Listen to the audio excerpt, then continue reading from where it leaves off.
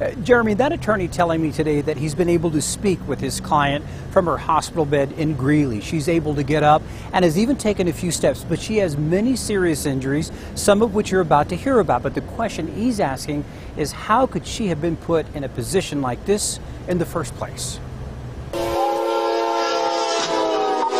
Moments before a horrific crash, you can hear a train coming down these tracks in Weld County.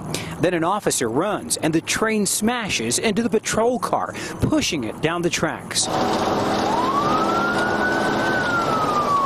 What led up to this started minutes earlier.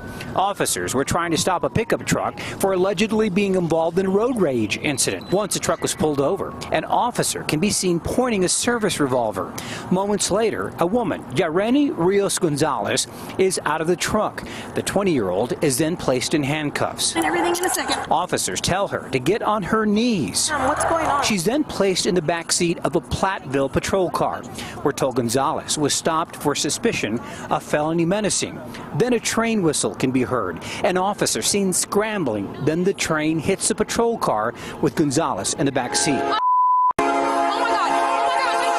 Her attorney telling us today she has nine broken ribs. She has head and leg injuries and broken teeth. Paul Wilkinson says Gonzalez was handcuffed in the back seat and tried to get out, but the doors were locked. The biggest question is why would you park on the train tracks? It's just, you know, negligent, gross negligence, recklessness. It's a question a lot of people are asking. Our police tactics expert tells us officers are told to stop cars in safe places. Obviously, not stopping your car on the on the train tracks should obviously be is, is problematic, especially when you're in a fluid situation. Gonzalez's attorney tells us he's expecting charges to be filed against her.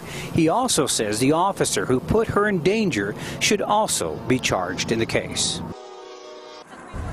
And we are told that the police officer from Platteville that put that patrol car on the railroad tracks has been put on leave. Reporting live from Weld County, Vicente Arenas, Fox 31.